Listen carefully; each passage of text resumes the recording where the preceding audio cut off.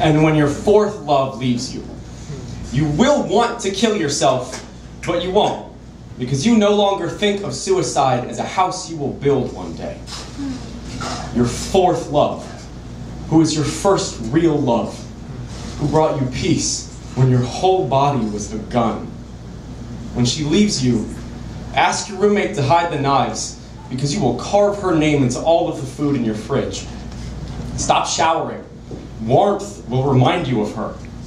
Masturbate in public.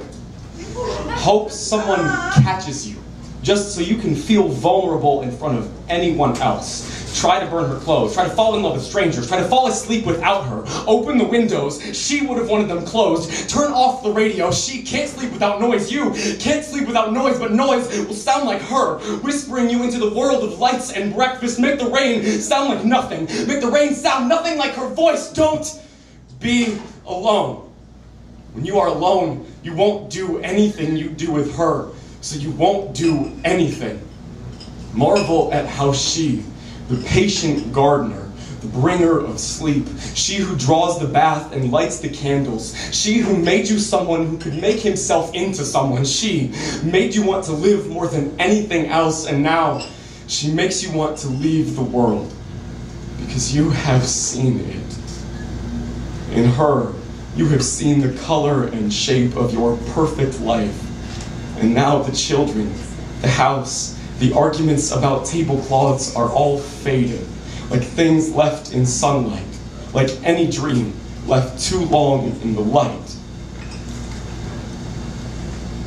For months, maybe years, every time you see her, you will want to kiss her. When you do, you will expect pain to come, like the old dog you could never quite put down, but there will be none.